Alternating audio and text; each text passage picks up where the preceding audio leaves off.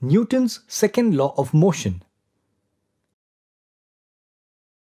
The rate of change of momentum is directly proportional to net external force acting on the system. Let us consider a body of mass m having initial velocity u. After some time, the body's velocity is v bar in a time t. Let us assume pi is called the initial momentum of the body, which is equal to mu bar. That is, pi is equal to mu bar.